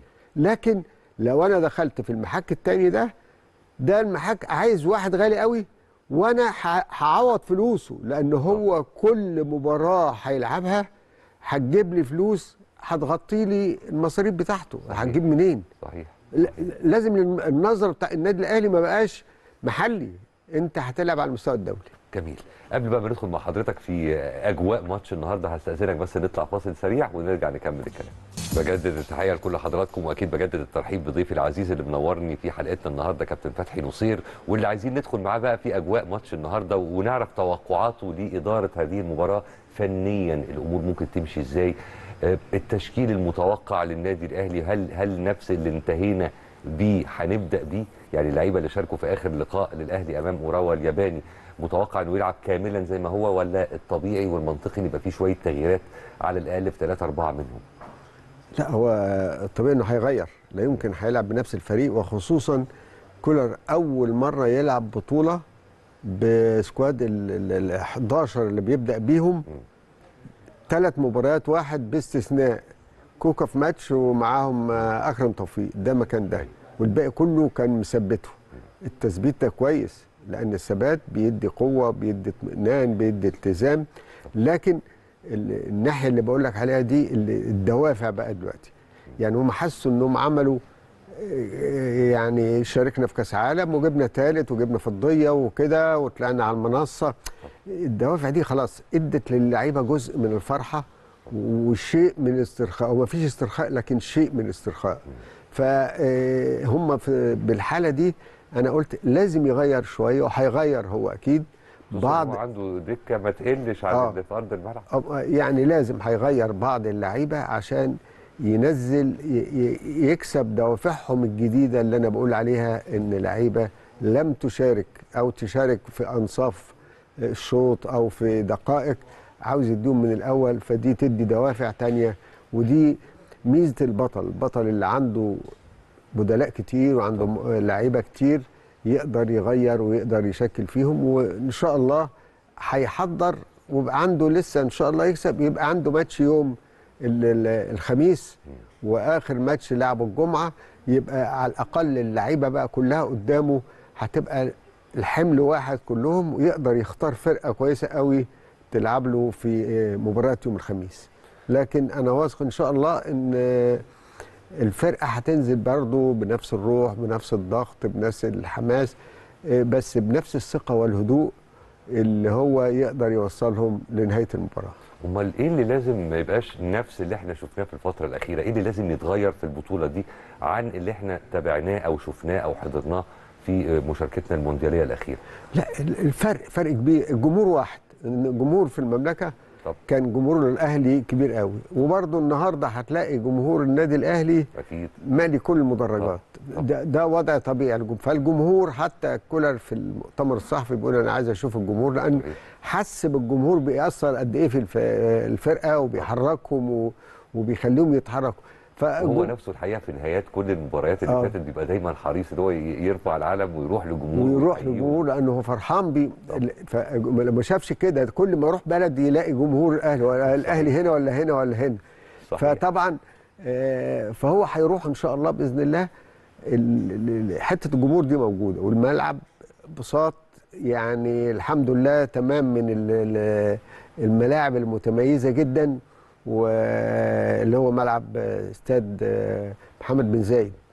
آه، بالمناسبة الاستاد ده يمكن أنا أول واحد حط فيه النجيلة بتاعته وزرعته الله. وحضرناه. الكلام ده سنة 74 أول ما كنت أنا هناك لفترة كده يعني قعدت سنة وأنا كنت في النادي الأهلي ورحت فالملعب ده هو استاد محمد بن زايد اللي هو استاد نادي الجزيرة. حلوة دي. آه فلما جابوا لنا كان الشيخ زايد الله يرحمه جاب لنا ال- اختار كان في الأندية هناك ثلاث أندية فاداهم قطع أرض لأن إحنا كنا بنلعب في أرض ترابية كده هناك وبتاع. فجينا نخطط. فجابوا المهندس وكده. فأنا بقول لهم هنا هنحط ملعب كرة القدم. فقاعدين المناسبة يعني أحد الشيوخ قاعدين قال لي كيف يا كابتن؟ أنت عشان بتاع الكورة هتحط الملعب النمرة واحد خلينا تحط الصلاة هو بتاع كرة يد. أوكي. آه قلت له لا ال- الملاعب المفتوحة تتحط الأول لأن في اتجاه شمس واتجاه هواء واتجاه ريح واتجاهات دي. ما يبقاش المقصورة الشمس في عينيك ما يبقاش حارس المرمى الشمس في عينيك. فبالتالي يبقى الاتجاه. بعد كده لما نبني الملاعب الم- الصالات المغلقة مش هتتأثر لا لها شمس ولا لها حطها بأي وضع. صحيح. فطبعا اقتنع. منطقي جدا آه ما أنا اقتنع. فده الملعب الحمد لله وليا ذكريات كبيرة هناك في في المجمع والناس هناك آه آه كانوا عملوا لنا برنامج مخصوص بدايات للنادي الجزيرة. وجت قناة أبو ظبي هنا سجلت على تاريخ فتح نصير مع نادي الجزيرة اللي هو عليه استاد محمد بن زايد اللي هيتعمل بشرة. خير اللي حضرتك بتقوله لنا. ده. ف- أنا هتعامل معاه على اعتبار إن هو بشرة خير. إن شاء الله خير بإذن الله. فالنادي طبعا هناك من الأندية المتميزة وملعبه كويس. آه طبعا. آه، الأداء بقى اللي هو هي- هيأديه اللعيبة دوافعهم إن إحنا عاوزين السوبر نشيل كاس بقى مش أيوة. نشيل ميدالية. أيوة طبعا. فايا كانت. وده أول نظام لها يتعمل فيه أربع أندية. أيوة. فدي بتبقى برضو دوافع تانية إن في أول بطولة تقام بأربع أندية السوبر يبقى النادي الأهلي صاحب هذه البطولة. هو بالمناسبة ممكن البعض يتساءل طب وإحنا ليه البطولات اللي من النوع ده؟ وخصوصا إن كل المشاركين فيها مصريين ليه بتتلعب خارج مصر؟ لا العالم دلوقتي كده بيعمل آه، يعني إسبانيا بتروح تلعب في السعودية آه، إيطاليا بتروح تلعب في قطر. الفرق دي لما بتلعب وبعدين هو بيبقى لها غرض غير كده تسويقي وعرض للبضاعة بتاعتنا. وعرض لإمكانياتنا والتعاون بين الدولتين بين مصر والإمارات. التعاون بين مجلس أبو ظبي الرياضي واللي هو مسؤول عن هذه البطولة والاتحاد المصري لكرة القدم والبطولات اللي هنا. دي طبعا بيبقى فيها تسويقيا أكتر. هنا ما تقدرش تعمل مدرج يتميلي فيه آه، 60000 70000 إحنا ما بنعملش دلوقتي لكن لما تروح هناك بتقدر. إذا وتغيير تغيير إحنا الاستاد عندنا ماله؟ لا ما هو أنت ما بيسمحلكش إنك أنت تملى الاستاد 100000 من آه فرقتين الساعة دول. الكاملة تقصد آه يعني آه يعني الظروف عندنا دلوقتي ما بتساعدش إن إحنا نلعب بالكثافه كل- كلها إلا إذا كانت فرقة أجنبية وإحنا فرقة مصرية. كده كده الفترة دي آخر كام يوم ابتدى يبقى في كلام جديد عن متحور جديد. يعني ربنا يستر ونشوف هيبقى جراؤه إيه أو يعني لا. عواقب هذا الأمر إيه. لا ربنا يستر. وبعدين أنا عشان كده بقول لحضرتك إن إحنا هناك في في في الامارات بيبقى غير إنها تغيير للعيبة والأجهزة والحكام وكده لها المردود المادي آه كويس. يعني التسويق أهم حاجة في كرة القدم دلوقتي التسويق وال- والتسويق الصح فبيقدر. فطبعا لها جانب تسويقي بيبقى له دور كبير قوي إنهم يكونوا موجودين هناك. نقاط ال ال القوة اللي عند سيراميكا كليوباترا واللي لازم نحسن التعامل معاها وفي نفس الوقت نقاط الضعف اللي عندهم واللي لازم إحنا بدورنا نستغلها. إيه هي؟ أقول لحضرتك نقاط السيرامي أي فريق آه، أي فريق في الثلاث فرق نعتبر إن ال 11 لاعب هم 11 قوة قدامي. ما حددش لاعب أو اتنين ما حددش مجموعات ما حددش طرق لعب. أنا رايح وفي ثلاث فرق المفروض هتنافس معاهم. تقول لي ده أنت هتلعب ماتش واحد. أيوه ما أنا هلعب ماتش واحد وبعد كده هلعب فرقة من الاثنين التانيين. مظبوط. يعني أي فرقة من الثلاثه فرقتين بلعبهم ده حق مشروع لهم إنهم يلعبوا وأنا ما ابصش هم إيه. أنا بلعب عشان إن أنا أفوز. بالتالي إحنا حافظينهم زي ما مدرب كان حافظ اتحاد جدة حافظ فرقة البرازيل حافظ الفرقة اللي قدامه وعمل طرق اللعب بتاعته عليه. هنا برضو هنلعب. أنا لا أستعين ب... وما بقولش أي مباراة سهلة. ما فيش حاجة اسمها مباراة سهلة. ما فيش أقول أنا أصل أنا معلش هلاعب آه، آه، سيراميكا. أصل أنا مش عارف هلاعب مين. لا. أي فرقة بلعبها أنا بلعب فريق قوي شارك معايا في المنافسة وله حق مشروع في إنه يوصل المنصة. بطبيعة ف... الحال. فدي دي دي اللي هتبقى تقول لي طيب توقع مين ال- ال- الفرقة والتشكيل وكده؟ عمري ما بحط نفسي أو مش هحط نفسي. إيه، بنصح إن إحنا ما حدش يتوقع فرقته لأن اللي عارف الفرقة هو واحد بس المدرب. هو اللي عارف فرقته. عارف, عارف ده نام عارف ده ما نامش عارف ده متعور. عارف ده مزاجه عارف ده هيربطهم مع بعض إزاي عارف هنا إيه. فهو اللي حافظ كل فرقة. لو أنا اتحطيت مكانه أو هو يقول لي إيه اللي هو شايفه هقول له الفرقة إيه. بس حضرتك سيد العارفين يا كابتن فتحي إحنا في مصر عندنا إحنا 104 مليون مدرب و104 مليون محلل رياضي. أيوه ما ده, اللي. ده اللي حصل. ما هو ده ما هو عشان كده أنا بنصحهم إن ما نجيش ناحية تشكيل الفريق أو التغيير. يقول لك ليه غير فلان مكان فلان؟ وده كان بيتكرر كتير في الفترة الأخيرة يعني في ناس كتير من الجمهور كان عندهم دايما تحفظات على التغيير نوعيته وتوقيته. ما هو أنت ما تعرفش هو غير ليه. أما يطلع يقول لي بعد المباراة أنا غيرت فلان عشان ده بدل ده عشان كذا أنا هنا أقدر أحلل أقول له لأ أنت كان مفروض. لكن أنا ما أعرفش هو غير ليه أثناء المباراة.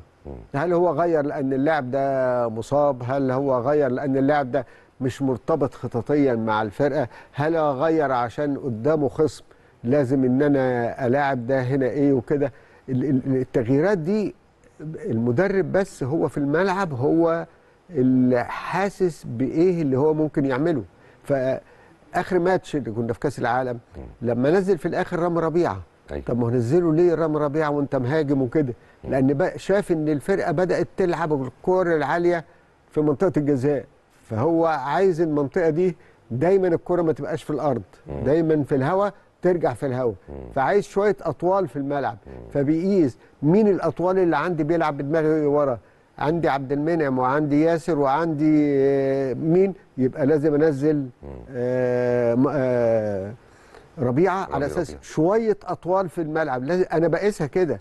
كم لاعب فيه أطوال كم لاعب فيه السرعات كم كده. الحاجات دي هو بيفكر. المدرب بيفكر بعد ما يقول لي أنا غيرت ليه ممكن أنتقد لكن ما انتقدش قبل المباراة ولا أثناء المباراة. لأن- وعادة بعد المباراة المدير الفني ما, ما, ما بيحتاجش إن هو يبرر للجمهور عادة يعني. ما يعني أنت على طول وبتكسب خلاص الناس مش هتقول أنت عملت إيه. لكن لكن برضه يقول يعني يقولوا ليه غيرت فلان مكان فلان رغم إن ده كان كويس. أيوه لأن أنا لقيت نسبة الأطوال عندي قليلة. فأنا عايز أزود الأطوال في وسط ملعبي. فحطيت رامي ربيعه وشلت ده لأن ده مثلا قصير هنا مش هيفيدني في الفترة دي. آخر 10 دقايق عايز الناس الأطوال الكتيرة اللي تلعب بدماغها. طب ما بدأتش بيه ليه؟ لأن أنا في الأول أنا عايز ألعب عشان أجيب أجوال. فدلوقتي وصلت للجول الثالث كانت النتيجة 3 2 قبل ما يجي الجول الرابع.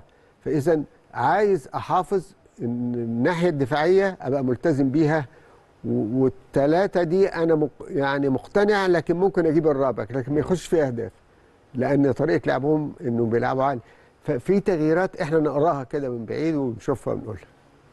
آه، كابتن أيمن الرمادي في, في, في- في جزء من تصريحاته اللي صرح بيها في المؤتمر الصحفي امبارح من ضمن الكلام اللي قاله قال ما معناه إن الفروقات بين لعيبة سيراميكا كليوباترا ولعيبة النادي الأهلي متناهية الصغر.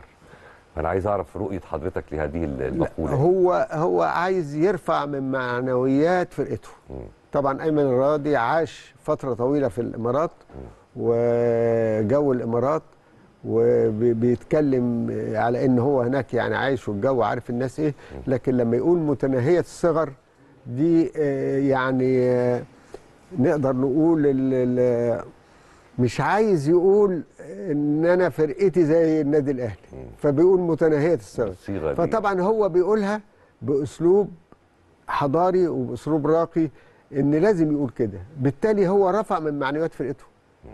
ما يحسسهمش إنهم أقزام أو هم صغيرين أو هم خبراتهم قليلة. يعني فرقة جاية من كأس عالم. مع فرقة بقى لها 10 أيام ما بتلعبش. هم ال mood بتاعهم وال rhythm بتاعهم عالي جدا دلوقتي. والهارموني بتاعهم عالي جدا من كأس عالم. وانت جاي من 10 أيام راحه فاذا هم جايين من المعركة والخبرات والدوافع والكلام ده كده فلازم هتقول إنها متناهية الصغر. عشان تحسس إن فرقتك قوية وإحنا ما فيش فرق بيننا وبينهم إحنا هنقدر نعمل هو النوع ده من الكلام أنا حتى نفسي قلت كده في مقدمة الحلقة النهارده وأنا ب- بتكلم بالتفصيلة دي بقول إن ده حق مشروع لأي مدير فني آه. في مؤتمر صحفي إن هو بطبيعة الحال عايز يحث لعيبته على إن هم يبذلوا أقصى ما عندهم عايز يحسسهم إن أنتم ما تقلوش عن المنافس ايا كان مين المنافس إلى آخره. لكن في في في بعض الأحيان بيبقى في تصريحات معينة كفيله بإن هي تثير حفيظة حتى اللعيبة نفسها. مش هقول لك الجمهور وردود آه. الأفعال ال- لا ما هو لا ما هو ذكي ما هو ما قالش. أنا زي زيهم. يبقى اللعيبة هتحس بقى يقول لك إيه؟ لا متناهية الصغر. يعني قد إيه متناهية؟ متناهية الصغر قد كده ولا قد كده ولا. قد كده؟ اذا في فروقات. يعني اذا بيعترف إن في فرق. بس الفرق ده قد إيه؟ اللي هيتحكم فيه أداء اللعيبة في الملعب. صحيح. هم اللي يخلوا الفرق ده كبير. أو هيخلوا الفرق ده صغير أو ما فيش فرق خالص على حسب أداء اللاعبين الفرقتين داخل الملعب.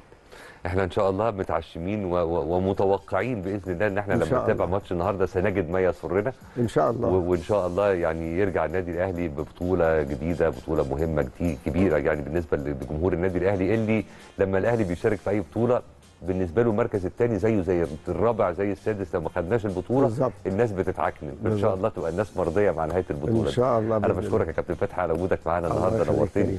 شكرا جزيلا أشوفك على خير إن شاء الله توفيق طيب خلونا نطلع فاصل سريع ونرجع بقى نكمل الكلام. اتفضل. ودلوقتي حضرات جه ميعادنا مع فقرة الألعاب الأخرى وهنكمل كلامنا عن حصاد بطولات النادي الأهلي في العام اللي بيوشك على الانتهاء 2023 في كل الألعاب الأخرى بخلاف كرة القدم. خلونا نرحب بضيفي العزيز اللي منورني في حلقتنا النهارده أحمد رشاد الناقد الرياضي. يا صباح الفل عليك يا رشاد. صباح الخير يا أستاذ منور. الدنيا كلها. ربنا يخليك يا رب. صباح الخير عليك. وصباح الخير على كل مشاهدي قناة الأهلي في كل مكان عليك. صباح وسعيد إن أنا موجود معاك على حبيبي قناة الأهلي. بتنورنا دايما وأنت عارف ده أنت آه صاحب طبعا. برنامج ما أنتش حد غريب يعني حبيبي يا كريم أخبارك إيه كله حلو الحمد لله تمام الحمد لله طيب في الفقرة دي بالذات أنا بفضل إن أنت اللي تسوق ربنا يخليك رب. فبص الفقرة فقرتك يا إكسلانس عيش تحب نبتدي من فين إحنا ممكن نبتدي بقى بالسلة يعني بقطاع. السلة لأن قطاع السلة في النادي الأهلي محقق نجاحات كبيرة جدا خلال 2023 لكن خليني بس أبدأ آه، ب طبعا أبارك للنادي الأهلي بالبرونزيه الرابعة في تاريخه.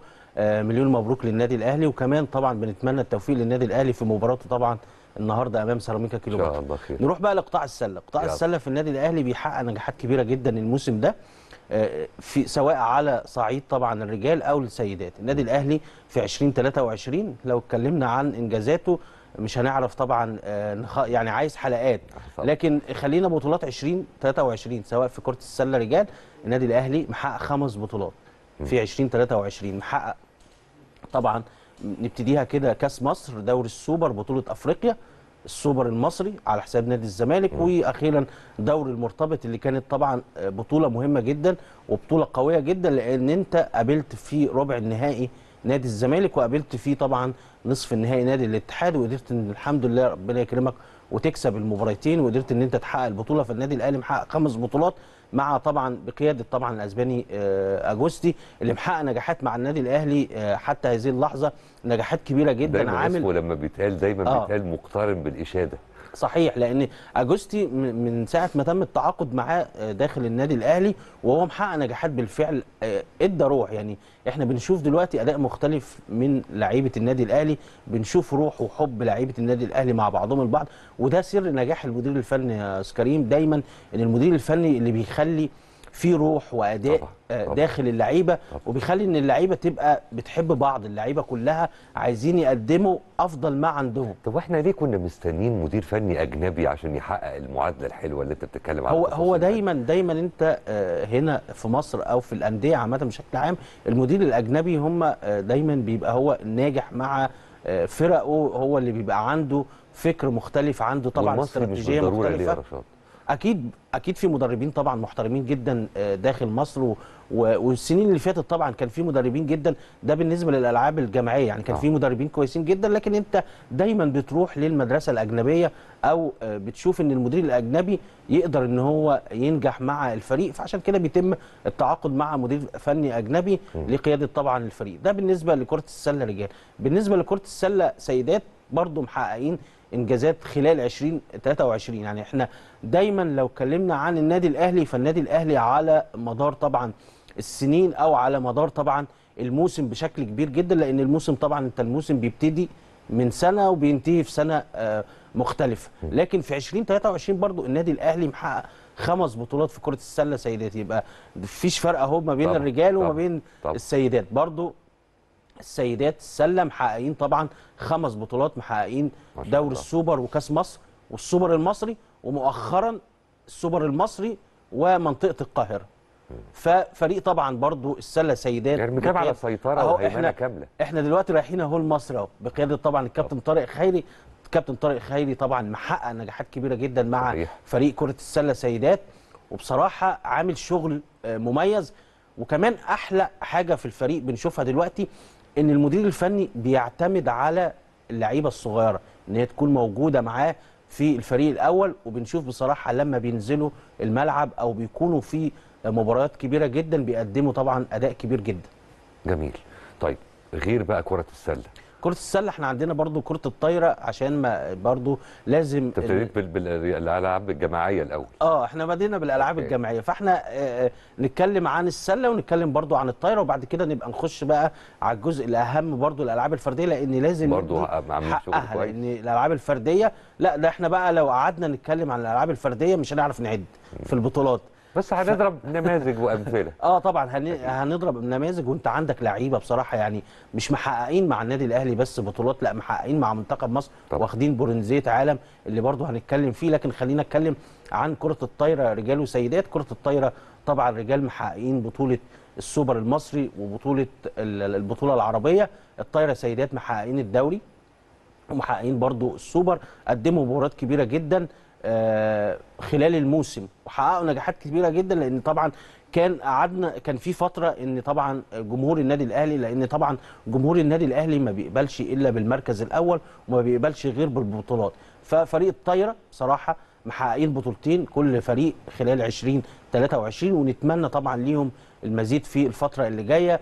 تم طبعا آه، تغيير القيادة الفنية سواء في كرة الطايرة رجال أو في الطايرة سيدات. لكن خليني أتكلم معاك على نقطة مهمة جدا كريم وبالنسبة للطايرة رجال. وده اللي أنا كنت اتكلمت عليها قبل كده آه، مع حضرتك عن كرة ال- اليد رجال مم. في النادي الأهلي.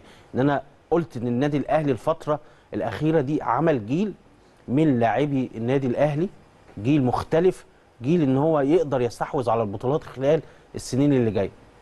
وده اللي أنا بشوفه. طبعا الكابتن إبراهيم فخر الدين في الطايرة سيدات ناجح بشكل كبير جدا محقق كل الفوز في كل مبارياته حتى الآن. ما شاء الله. لكن خلينا نتكلم عن الأسباني منذ وبرضه يعني عامل حالة مختلفة. وشفت من طبعا المباريات العديدة اللي لعبها النادي الأهلي حتى الآن في الدوري ومحقق فيها الفوز في كل مبارياته. شفت إن هو آه، بيعتمد اعتماد أكبر مش على عناصر الخبرة بس لا ده بيعتمد على الناشئين. مصعد طبعا أكتر من لاعب في الفريق بيشارك كل اللاعبين حلو الفكر ده. يعني يعني الأسباني منذ مش بيلعب بعناصر الخبرة بس.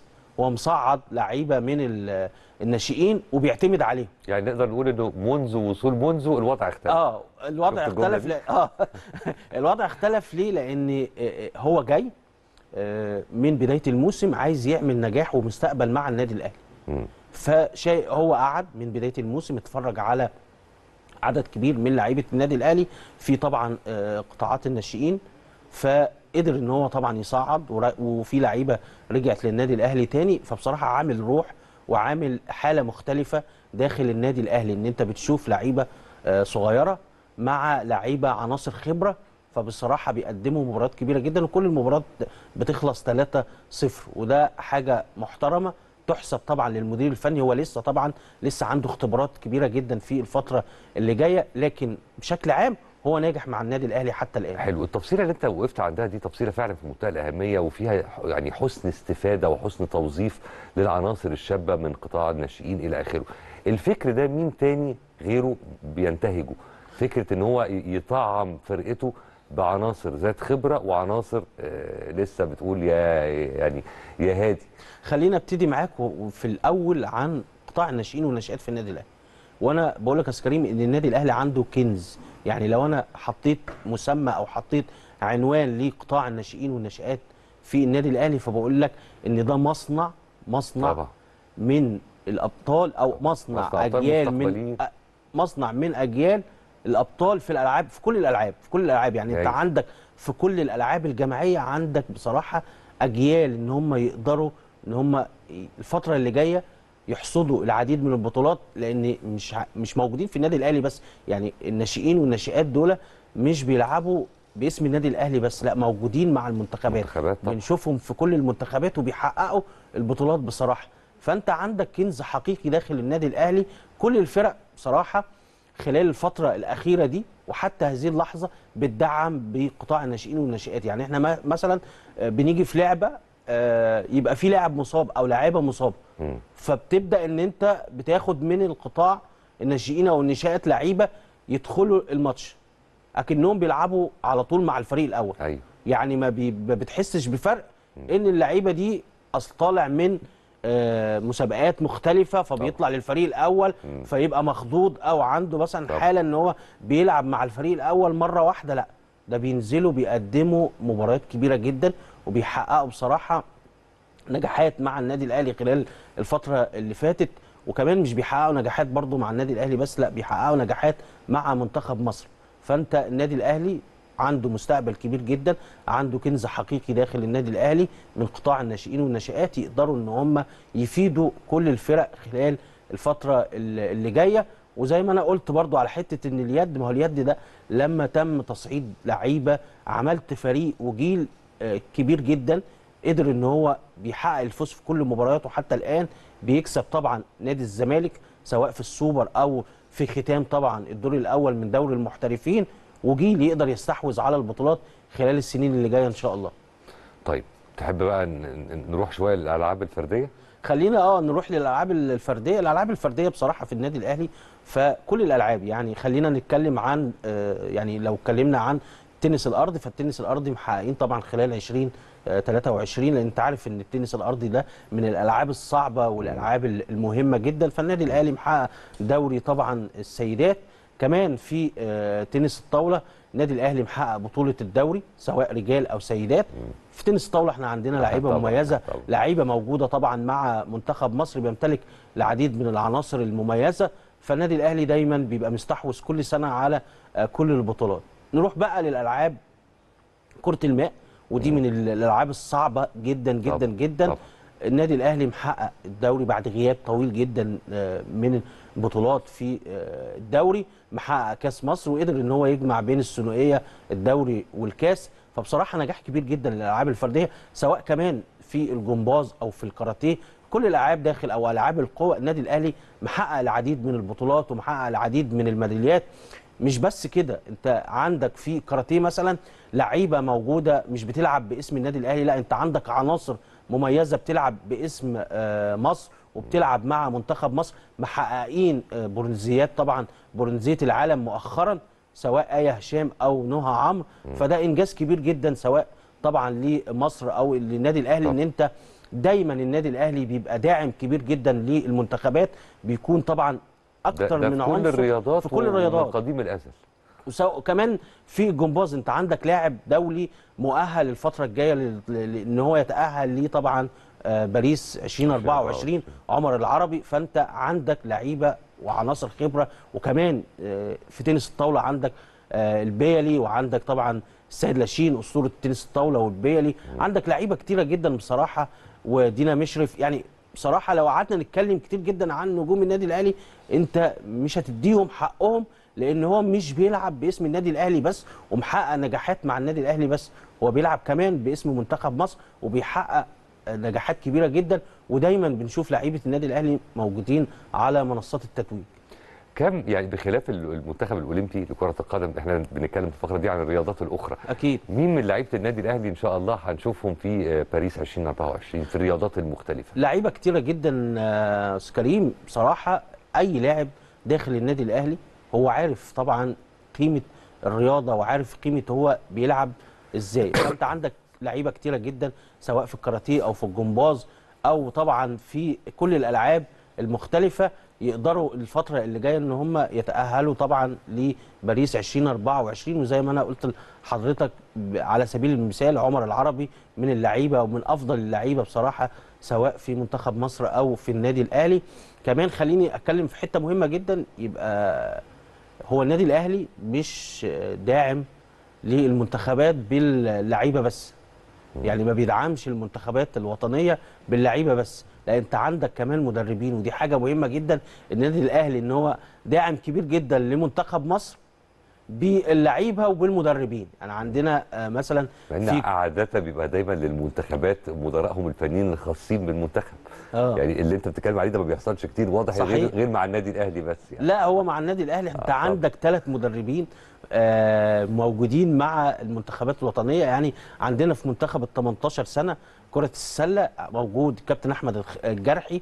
كابتن أحمد الجرحي ده المدرب العام لفريق كرة السلة رجال في النادي الأهلي وهو المدير الفني لمنتخب مصر 18 سنة. هاي. كمان عندنا محمد أشرف توفيق آه، مدير فني آه، في النادي الأهلي. وكمان المدرب العام في منتخب 18 سنة. فانت عندك اهو لعيبة ومدربين. مش لعيبة بس يعني الأهلي مش داعم بس بلعيبته وداعم كمان بمدرب. كمان كابتن علياء محمود دي مدربة طبعا آه، كرة السلة الفريق الأول لكرة السلة سيدات.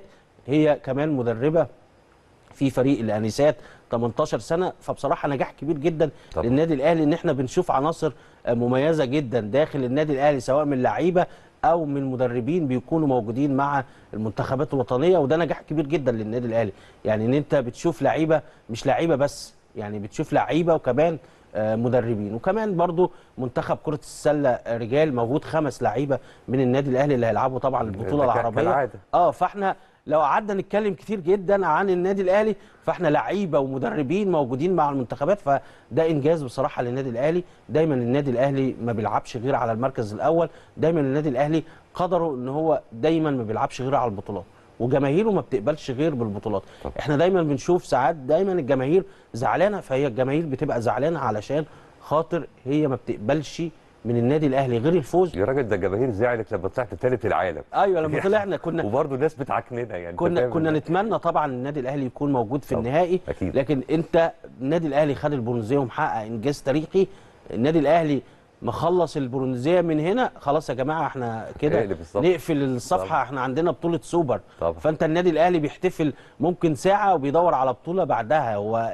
الجماهير ما بتقعدش مثلا تحتفل فترات زي أندية تانية لا هم بيحتفلوا لساعات وبعد كده بيدوروا على البطولة اللي بعدها وهو ده قدر النادي الأهلي طبعاً. وده بيحمل ده بيعمل حمل كبير جدا أمال على إيه؟ لعيبة. النادي الأهلي طبعاً. بصراحة طبعاً. إن هم دايما آه، ده حتى آه، المدربين بيقول لك إن آه، أنا بروح للجمهور في في الاستاد أو في الصالة وهم بيحتفلوا معايا بيدوروا على يعني هم بيحتفلوا معايا بيدوروا على البطولة اللي بعدها هو مش مش رايح يحتفل معاه في طبعاً. فيلاقي الجمهور بيحتفل معاه لا أيوة. هو بيحتفل بيه ما فيش مشكلة لكن بيدور على البطولة اللي بعد كده صحيح بالمناسبة يعني وأنت بتتكلم من شوية حتى أنا كملت لك الكلام من ساعة لما كنت بتتكلم آه. على إن لعيبة النادي الأهلي هم دايما القوام الرئيسي للمنتخبات في كل الرياضات صحيح. فانا قلت لك ده من قديم الأزل الكلام ده حاصل هل ده بيبقى ليه علاقة بنوعية اللعيبة اللي في النادي الأهلي طب ما أنت عندك في الف...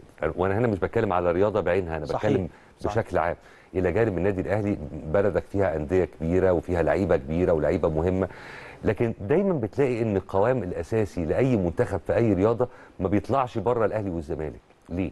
أكيد لأن طبعا في الأندية دي الأندية دي بي بي اللعيبة اللي بتيجي أو بتبقى موجودة سواء من قطاع الناشئين أو الناشئات أو الفريق الأول بتبقى لعيبة مميزة. الأندية دي بتختار لاعيبتها على أعلى مستوى إن بيكون أفضل العناصر وأفضل اللعيبه موجودة في فرقهم.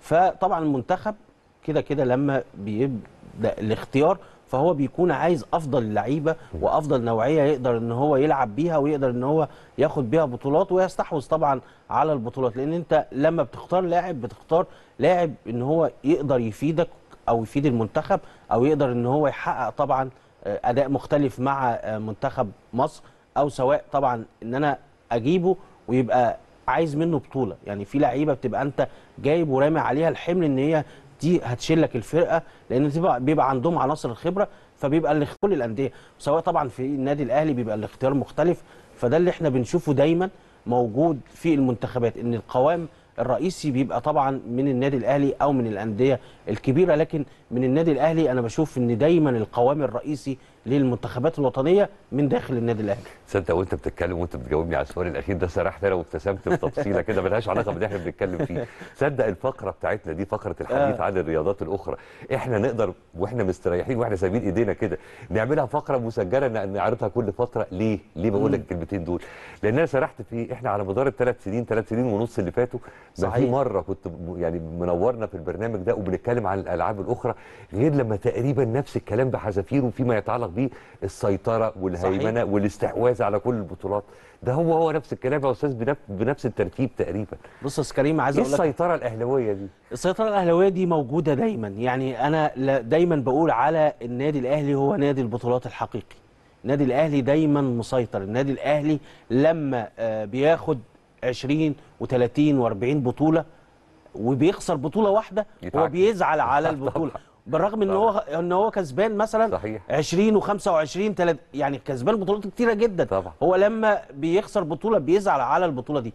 فدايما النادي الأهلي بصراحة أنا شايف إن هو نادي البطولات الحقيقي محقق إنجازات. هو بيحقق إنجازات مش يعني إحنا طالعين بنتكلم على سنة واحدة. إحنا بنتكلم على 2023 والموسم طبعا بيبقى فيه توقفات توقفات. عشان آه، المنتخبات ما بيبقاش موسم. إحنا ما بنحسبش السنة اللي هي سنة سنة كاملة ال يعني. 12 شهر.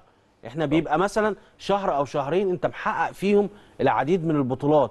فأنت لما تيجي مثلا في لعبتين زي كرة السلة رجال وسيدات محقق 10 بطولات في 2023 يبقى إحنا هنفضل بقى مش هنعرف. نعد بعد كده لا حيث كده بقى يا عم رشاد يبقى لا جديد يذكر ولا قديم يعاد إحنا نقفل الحلقة على كده وبارك الله فيك صحيح. راجل. الحمد لله. نورتنا وشرفتنا بشكرك على وجودك معانا النهارده ربنا يخليك يا كريم أنا اللي سعيد جدا والله وببقى سعيد جدا إن أنا موجود في قناة النادي الأهلي وبتكلم. عن بطولات الألعاب الجماعية بصراحة لأن ده آه، ملفي اللي أنا بحبه طبعا. جدا وببقى سعيد جدا بالكلام عليه بصراحة وإحنا بنحب الشغف اللي موجود عندك دايما بيبان حتى في لمعة عينك يا راجل آه. لما بنيجي نتكلم عن الرياضات الأخرى. بشكرك على. وجودك معانا النهارده نورتنا. وأكيد الشكر موصول لمشاهدي قناة الأهلي في كل مكان. في العالم على حسن المتابعة بكرة بإذن الرحمن يتجدد اللقاء وحلقة جديدة و10 الصبح في الأهلي. صباح الفل عليكم.